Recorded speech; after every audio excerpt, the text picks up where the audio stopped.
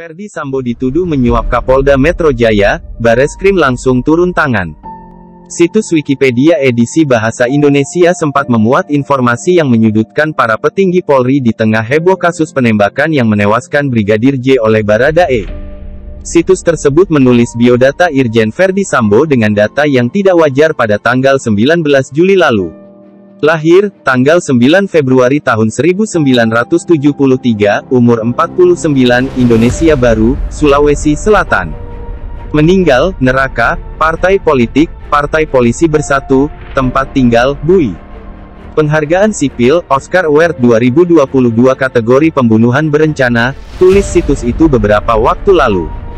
Sepekan kemudian, tepatnya pada Selasa tanggal 26 Juli tahun 2022, hari ini, giliran Kapolda Metro Jaya Irjen Fadil Imran. Situs Wikipedia menarasikan bahwa Irjen Fadil Imran diduga menerima suap dari Irjen Ferdi Sambo.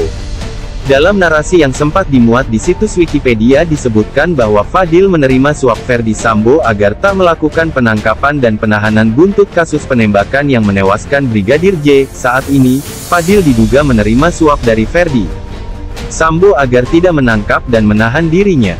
Dalam kasus pembunuhan berencana terhadap Brigadir J. Huta Barat di 2022, Selasa tanggal 26 Juli tahun 2022. Kadif Humas Polri Irjen Dedi Prasetyo mengatakan pihaknya telah mengetahui adanya narasi yang menyudutkan para petinggi Korps Bayangkara. Merespons hal tersebut, Direktorat Tindak Pidana Siber Bareskrim Polri langsung bergerak melakukan penelusuran. Sebab, diduga ada yang sengaja menyunting informasi liar tersebut.